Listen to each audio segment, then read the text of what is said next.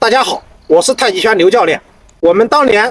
到郑州跟张老师学拳的时候，张老师曾经说过，说他自己当年跟陈兆奎先生学拳的时候，陈兆奎先生曾经跟他说过，一个金刚倒坠就够你吃一辈子。张老师说，他那时候年轻，